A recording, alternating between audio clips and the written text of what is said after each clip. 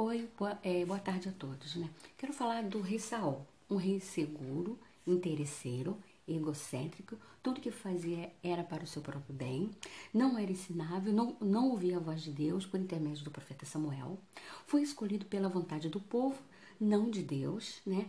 Então o povo teve o que merecia um rei fraco de caráter.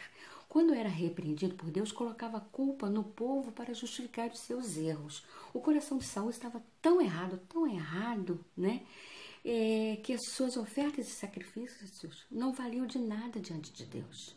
Saul se afastou da cobertura espiritual de Samuel e se abriu aos espíritos malignos. Prestava mais atenção à voz do povo do que à voz de Deus.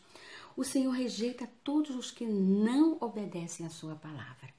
Devemos estar atentos a quem escolhemos, né, para dar continuidade ao trabalho de Deus, porque nós olhamos aquilo que está diante dos nossos olhos, a aparência, mas Deus olha o coração, Deus vê o coração, porque Ele é onisciente, Ele sabe de todas as coisas. Por isso, nós precisamos estar conectados com Deus. Tchau.